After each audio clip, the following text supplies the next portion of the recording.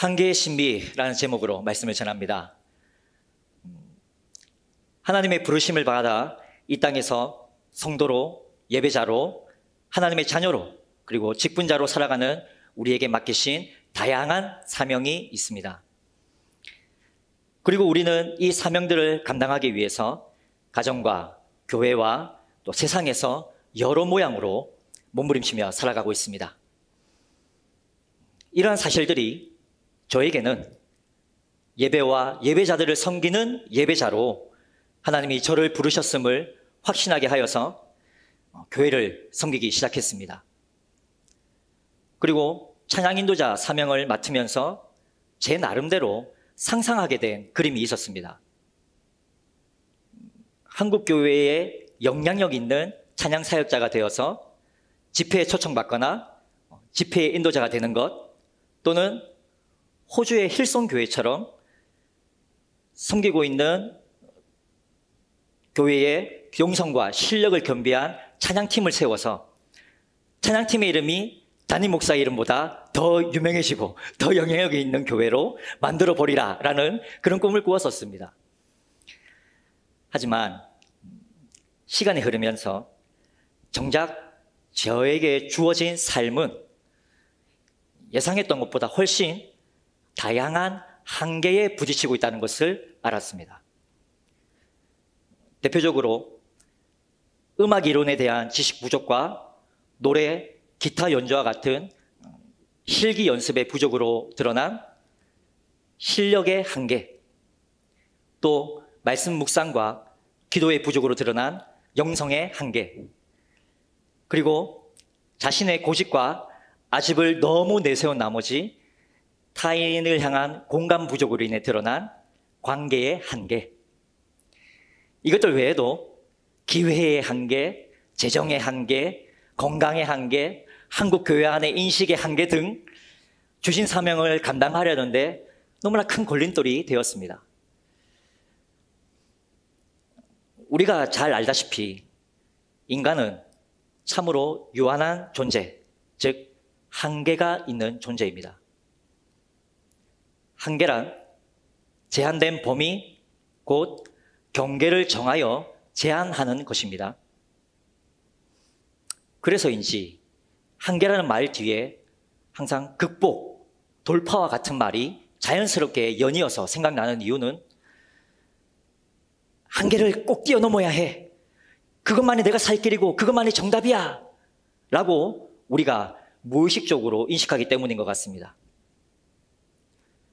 그런데 과연 한계를 뛰어넘는 것만이 정답일까요? 과연 한계란 우리에게 안 좋은 것일 뿐일까요? 그리고 이 질문에 대해서 성경은 어떻게 대답하고 있을까요? 흥미롭게도 창세기 1장은 하나님께서 천지를 창조하실 때 해와 달, 하늘과 땅, 땅과 바다, 낮과 밤을 구분하는 각종 경계선을 그으셨음을 보여주고 있습니다. 그리고 그것들은 하나님이 보시기에 좋았습니다. 그래서 미국의 애슐리 헤일스라는 기독교 작가는 이러한 하나님의 창조에 대해 자신의 책 작아서 아름다운에서 하나님이 한계를 지으시니 그 한계가 하나님 보시기에 좋았더라 라고 표현했습니다. 덧붙여서 한계 상황 안으로 들어가서 예전보다 좀 작아져 라고 하는 이 초대야말로 신앙인이 살면서 누리는 가장 좋은 하나님의 초대라고 했습니다. 그 이유는 제약이 많은 한계 상황이야말로 내가 꼭 가야 할 길을 뚜렷하게 보게 하고 만나야 할 사람을 만나게 하고 내가 꼭 마쳐야 할 일을 제때 마치게 하기 때문이라고 합니다. 그래서 예슐 헤이스는 하나님이 우리 각자의 한계를 통해 우리 자신만의 독특한 길을 열어주심으로 한계는 우리 인생과 사역의 길잡이다 라고 했습니다. 자, 오늘 우리가 읽은 이 본문은 로마 감옥에 갇혀 있는 바울이 죽음을 앞두고 기록한 유언과 같은 기록으로서 자신의 영적 아들 디모데에게 보낸 두 번째 편지입니다. 그래서 학자들은 이 디모데 후서를 바울의 마지막 저작이라고 추측하고 있습니다. 오늘 우리가 읽었던 이 본문 후에 6절을 잠깐 보시면 바울은 자신에게 다가올 죽음을 이미 알고 있었고 기다리고 있습니다. 그러나 지금 바울은 죽음 말고도 다른 한계 상황에 둘러싸여 있습니다. 먼저 예수님을 인격적으로 만난 후 넓은 세상을 누비면서 복음 전파에 남은 인생을 다 바쳤던 그의 인생 말미에 감옥이라는 좁고 차가운 음지에 갇혔습니다. 그런데 이렇게 바울이 로마에 갇힌 바 된 것은 지금이 처음이 아닙니다. 사도행전 21장 17절 이후를 보시면 바울이 예루살렘을 방문했다가 유대인들에게 잡혀서 로마로 이송됩니다. 이런저런 우여곡절 끝에 로마에 도착한 바울은 사도행전 28장 30절과 31절에서 가택 연금 상태로 2년간 셋집에 갇힌 죄수의 신분이었지만 손님들을 자유롭게 맞이하면서 담대하게 거침없이 복음을 전할 수 있었습니다. 그러나 지금 본문의 바울의 상황은 이때와 많이 다릅니다. 지금 바울은 디모데후서 1장 8절과 2장 9절의 기록처럼 로마에 갇혀 있고 일반 죄수처럼 사슬에 매여 있습니다. 더구나 우리가 읽은 본문 이후에 이어지는 10절에서 12절까지의 내용을 보시면 바울 곁에 함께 있었던 자들도 누가를 제외하고는 이런저런 이유로 모두 떠나고 말았습니다. 이렇게 지금 바울은 누가만 남기고 모두가 떠나간 한계의 상황.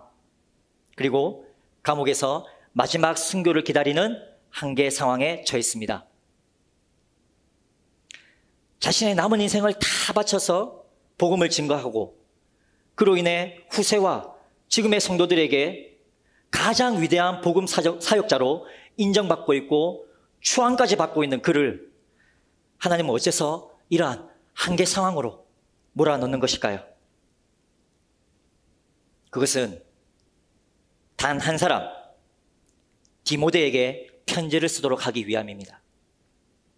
즉, 바울 곁에 모두를 떠나가게 하시고 감옥에서 마지막 순교를 기다리게 하는 이 한계 상황으로 부딪히게 한 것은 바울로 하여금 디모데 한 사람을 만나게 하시려는 하나님의 초대장이었다는 말입니다.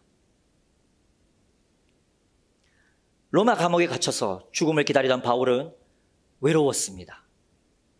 그 외로움에 몸부림치는 가운데 내게 이와 같은 자가 없다 라고 말할 정도로 바울이 사랑했던 영적 아들 디모데 그 한 사람을 그리워했습니다. 그래서 바울은 디모데에게 편지를 써서 속히 오라고 디모데후서 1장 4절과 4장 9절과 21절에서 거듭거듭 당부합니다. 디모데가 오면 자신이 죽기 전에 들려주고 싶은 이야기가 너무 많았기 때문입니다. 그러나 그가 언제 올런지 알 수 없었기에 바울은 이 디모데후서 편지에서 복음을 지속적으로 전파하기 위한 교훈과 권명과 명령을 기록하여 보냅니다. 이러한 내용들이 필요했던 이유는 당시 교회 외부적으로 네로 황제의 통치 말기에 있었기에 그리스도인에 대한 핍박의 분위기가 고조되고 있었고 또 교회 내부적으로는 초기 영지주의와 같은 이단이 침투하여서 지속적으로 세력을 확장하였고 그것 때문에 복음의 진리를 복음의 진리가 위협받고 있었기 때문입니다. 초대교회가 당면한 이러한 상황과 바울 자신의 사역이 이제 마지막에 다다랐음을 알았던 바울은 다음 세대의 복음 사역자 디모데에게 유언적 메시지를 남길 필요를 느꼈던 것이죠. 그 메시지 중에 하나인 오늘 본문 디모데후서 4장에서 바울은 하나님과 그리스도 예수 앞에서 영적 아들 디모데에게 매우 진지하고 엄숙하게 다음과 같은 명령을 내립니다. 우리 화면을 보시면서 2절 말씀을 같이 한번 읽어보겠습니다. 시작. 너는 말씀을 전파하라. 때를 얻든지 못 얻든지 항상 힘쓰라. 범사의 오래 참음과 가르침으로 경책하며 경계하며 권하라. 아멘. 너는 말씀을 전파하라. 말씀을 전파하는 것은 당시 에베소 교회에서 에베소에서 목회 사역을 하고 있던 디모데의 사명입니다.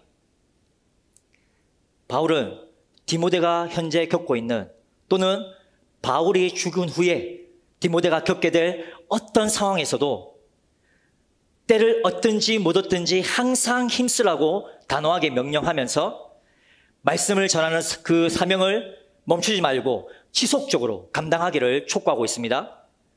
그리고 그 전파된 말씀이 지속되기 위해서 첫째로 교회 내에 잘못된 교리, 교리 이해로 진리를 거부하거나 왜곡하는 그리스도인들에게 명백한 말씀의 증거를 제시하라는 경책하라라는 말로 그리고 두 번째로 그 경책하는 과정에서 드러난 명백한 범죄는 호되게 책망하라는 경계하라라는 말로 그리고 세 번째로 그렇게 경책하고 책망하되 마지막엔 위로하고 권면하고 용기를 북돋워 주라는 권하라라는 말로 명령합니다. 바울은 디모데가 경, 경계하고 경책하고 권하는 이 세 가지 직무를 분명하고 엄중하게 수행하기를 촉구하면서도 그 가운데 범사의 오래 참음과 가르침으로 하라고 권면합니다.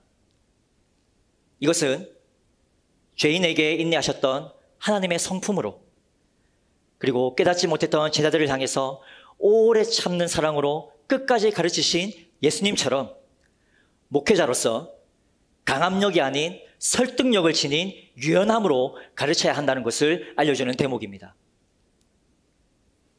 자, 여기서 오늘 우리는 때를 얻든지 못 얻든지 항상 힘쓰라에 조금 더 주목해 보겠습니다.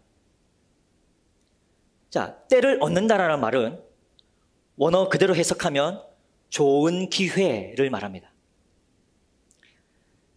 지금은 프로야구 시즌이죠.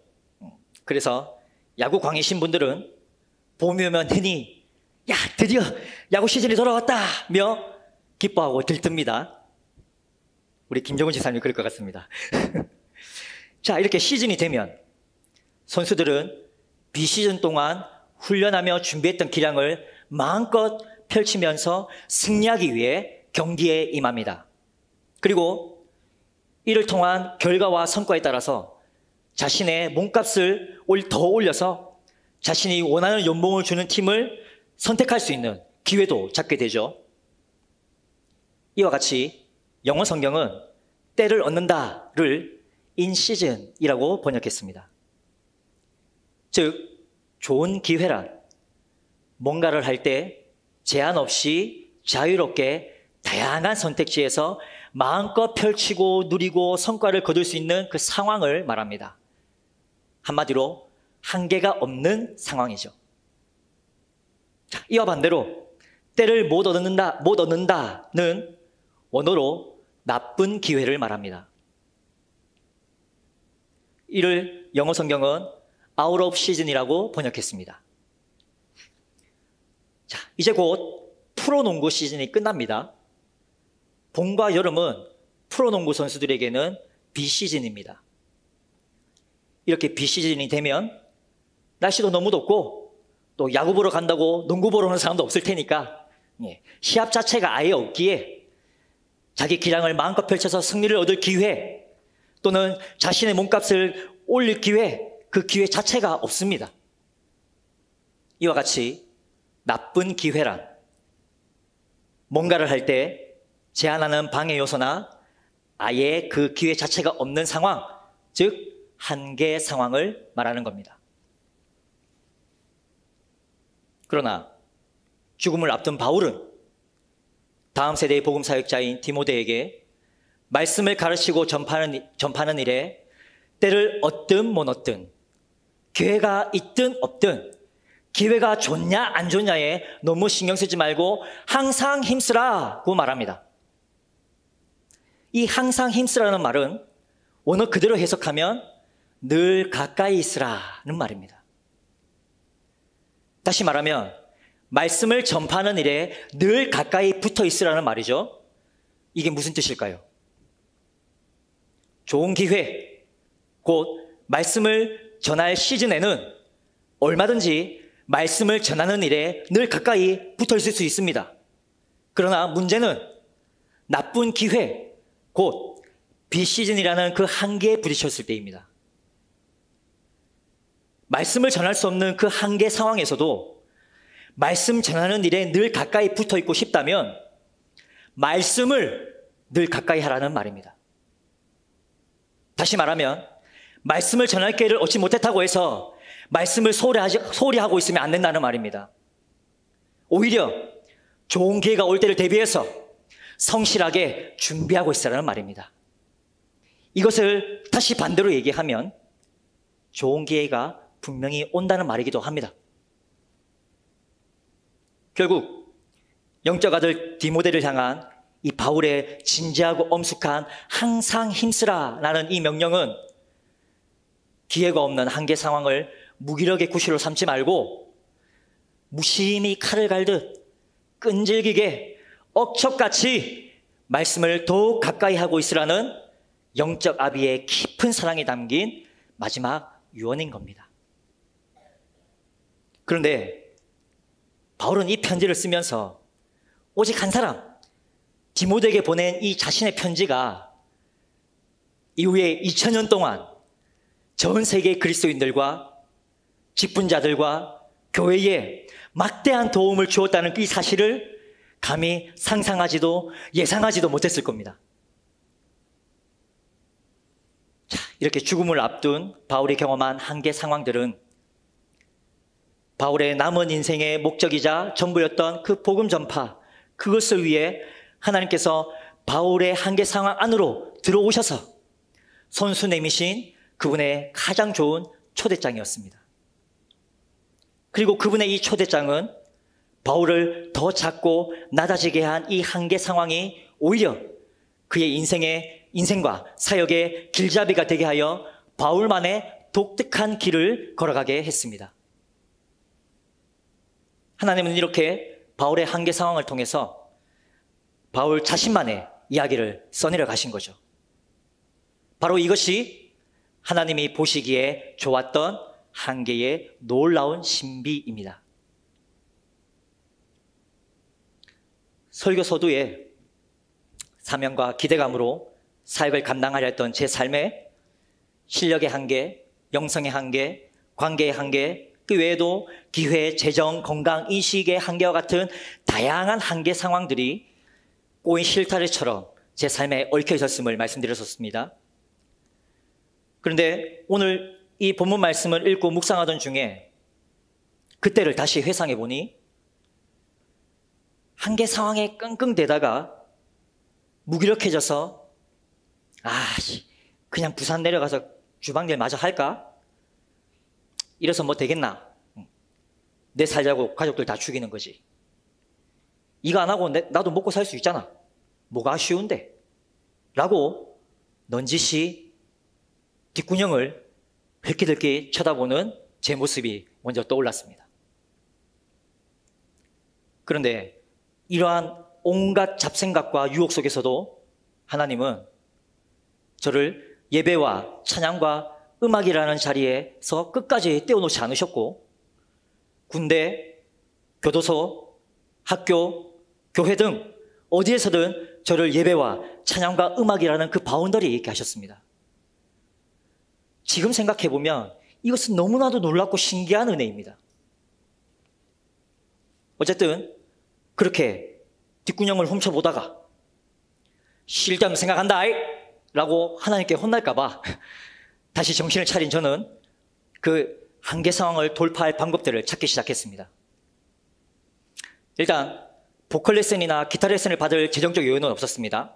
그래서 당시 유튜브에 보컬 레슨 영상을 올리고 있는 어, 트레이너들을 유심히 찾아보았고 제게 맞는 트레이너를, 트레이너를 선택해서 그분의 영상을 보고 책을 사서 읽으면서 기초 발성에 대해 독학하기 시작했습니다. 그리고 초등학교 고학년들이나 중고등 학생들 중에 취미로 기타를 배우고 있는 친구들에게 기타 레슨을 하면서 그들을 가르치기 위해 밤낮 없이 코드와 주법들을 연습했습니다. 그러는 가운데 다양한 음악들을 접하게 됐고 그렇게 배우게 된 것들을 필드에 적용하고 몸에 체득시키면서 실력을 준비해 나갔습니다. 그리고 또 하나 저는 개인적으로 긴 글보다는 의미가 웅축된 시나 그림을 통해 더욱 수월하게 묵상에 잠기는 편입니다. 그래서 서경욱 작가의 그림 묵상이나 또 다른 찬양 시들을 보면서 깊은 묵상의 자리로 나아갈 수 있었습니다. 그리고 성경 전체를 볼펜으로 필사해 보기도 하고 신학교에 입학해서 기본적인 신학 개론 및 신앙과 관련된 학업에 참여하기도 했고 예배의 열정이 가득한 예배자들이 모인 사역팀에 들어가서 그들과 함께 말씀을 나누고 기도하고 찬양하면서 나름대로 영성도 준비해 나갔습니다. 그리고 인간관계에 대한 독서와 미디어를 시청하면서 깨닫게 된 것들을 함께하는 동료자들 사이에서 이래저래 적응해 보는 가운데 실수도 해보고 때로는 성과도 얻으면서 사람 사이의 관계를 위한 준비도 해 나갔습니다. 자, 그럼 부딪혔던 한계의 상황에서 예배와 찬양과 음악 곁에 늘 가까이 있게 하셔서 이렇게 준비하게 하신 그 결과는 어떻게 나타났을까요? 제일 처음 예배 사역을 시작하면서 제가 꿈꾸고 그렸던 그런 이상적인 그림과 같지는 않았지만 찬양 인도를 맡기신 곳이 사람이 많던 곳이든 적은 곳이든 그리고 그 시간이 새벽이든 깊은 밤이든 그리고 그곳이 시스템이 갖추온 곳이, 잘 갖추어진 곳이든 그렇지 않든 하나님이 제게 맡기신 사명을 지혜롭고 담대하게 감당할 수준까지는 그 실력으로 성장시켜 주셨다고 믿습니다. 하지만 제가 탁월한 실력자가 아니라는 것은 그 누구보다 저 스스로가 너무도, 너무나 더 잘 알고 있기에 지금도 여전히 실력 성장에 관련된 자료들을 찾아보면서 공부하고 연습하고 있습니다. 자, 영성은 제가 스스로 감히 측정하기도 어렵고 측량할 수도 없는 부분이잖아요. 그래도 사역하는 곳마다 신앙적으로나 도덕적으로 어, 욕먹지 않는 수준까지는 성장시켜 주셨다고 믿습니다.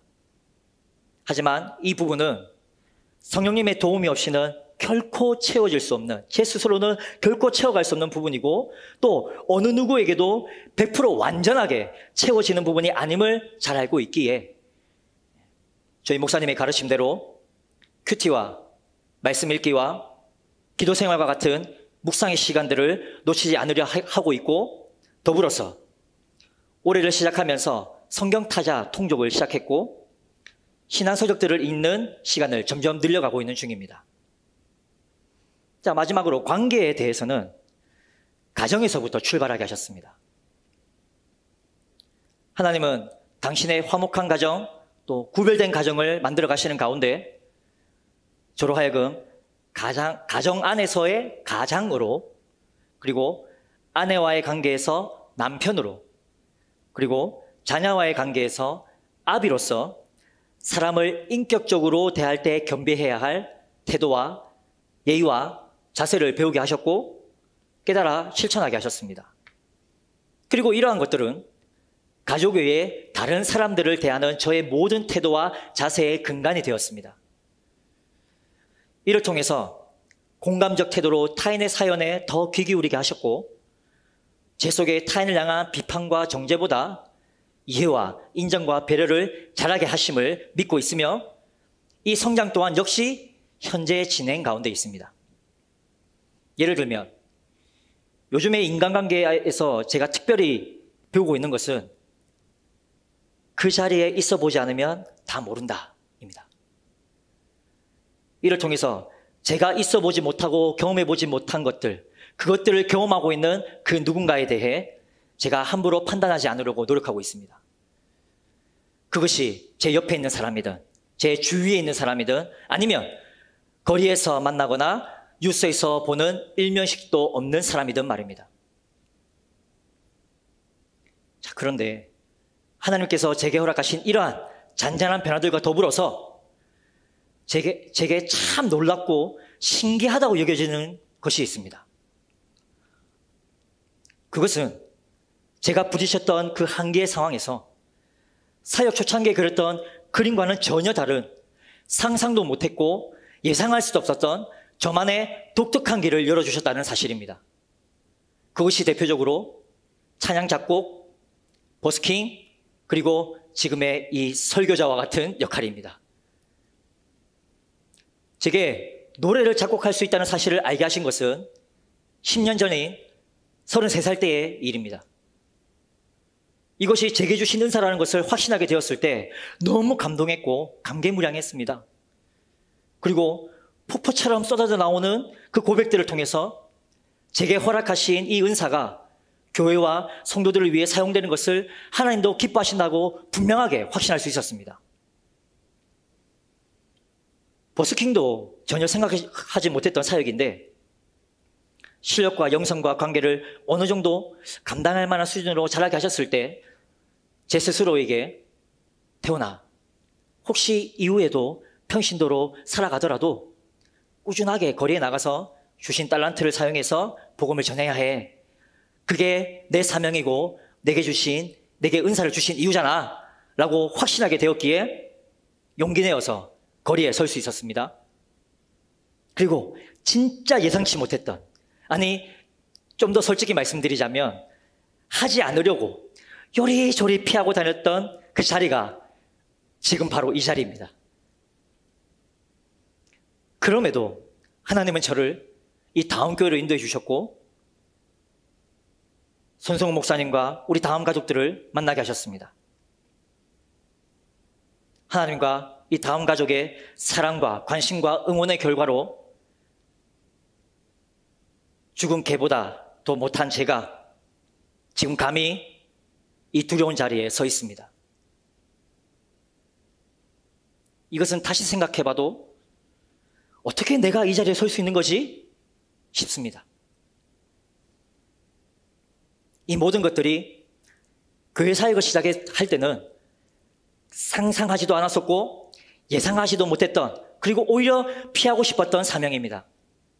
그러나 오늘 우리가 나눈 이 말씀과 같이 제가 경험했던 이 한계 상황들은 분명히 하나님께서 저만의 새로운 길을 열어주시는 계기가 되었음을 믿습니다. 그러므로 하나님은 당신의 주권과 섭리 안에서 저만의 이야기를 신비롭게 써내려 가시는 분임을 고백합니다. 그래서 오늘 설교의 제목이 한계의 신비입니다. 한계에 부딪힌 상황은 분명히 힘듭니다. 그래서 누군가 저에게 그때로 다시 돌아가 볼래? 라고 묻는다면 진짜 화낼 겁니다. 그 정도로 한계에 부딪힌 상황은 괴롭다는 말입니다.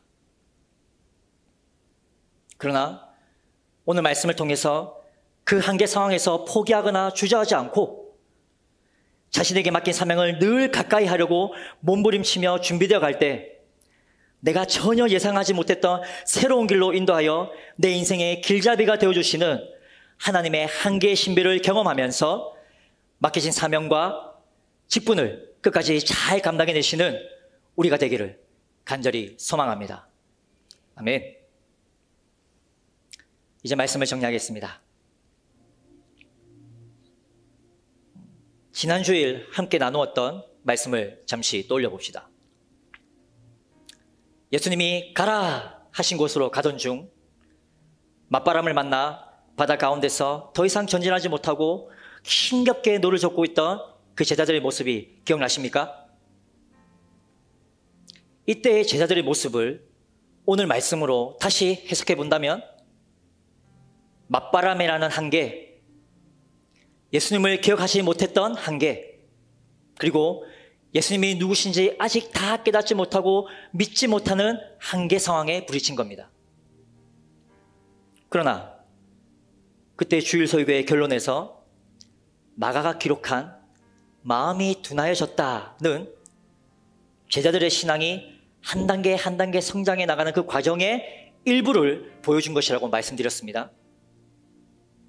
그래서 예수님은 때론 꾸짖으시고, 때론 위험있게, 때론 온화하게 한계에 부딪힌 그 제자들을 반복해서 가르치셨습니다. 이 사실 또한 오늘 말씀으로 다시 해석해 본다면 제자들의 한계 상황은 예수님과 함께 지내는 가운데 반복해서 말씀을 듣고 예수님의 행하신 일들을 두 눈으로 직접 목도하면서 예수님이 누구신지 분명히 알고 제대로 깨달아 훗날 그들이 모든 민족을 제자로 삼아 아버지와 아들의 이름으로 세례를 주고 예수께서 분부한 모든 것을 가르쳐 지키게 할 사람을 낳는 업으로 준비시키는 과정이었던 겁니다. 이와 같이 하나님은 한 번 택하여 부르신 믿음의 사람을 절대 포기하지 않으십니다. 부모가 연약한 어린 자녀를 안전하게 보호하면서 넓은 세상으로 인도하는 것 같이 늘 좋은 기회로 우리를 인도해 주십니다. 그리고 그 속에서 하나님은 자녀가 장성하여 부모 곁을 떠나 온전히 살아갈 수 있도록 자녀를 준비시키고 훈련하는 것처럼 때론 우리가 생각지도 못했고 예상할 수 없었던 당신이 써내가실 우리 각자만의 이야기를 위해서 한계 상황이라는 독특한 초대장을 우리에게 내미시고 거기에 믿음과 순종으로 우리가 응답할 때 기꺼이 준비시켜 주시는 분이십니다. 그러므로 우리가 지금 만약 한계 없는 자신의 시즌을 잘 보내고 있다 하더라도 어느 순간 예상치 못한 때에 한계 상황에 부딪혀서 비시즌을 맞이하게 된다면 그때는 잠깐 허리를 펴서 숨을 고릅시다. 그리고 눈을 들어 지금 내가 얼마만큼 왔지?가 아니라 내가 지금 바른 방향으로 가고 있나?를 체크합시다. 그리고 생각지도 못한 나만의 길로 초청하기 위해 내미시는 그 주님의 초대장을 받고 응답합시다. 그 속에서 신비한 계획과 섭리대로 나만의 이야기를 써내려 가실 완전하신 주님의 일하심을 기대하고 신뢰하며 주님의 뜻에 합당한 사명자로 겸비되어 다시 자신의 시즌을 맞이하게 되는 우리가 되기를 원하고 바라고 기도합니다.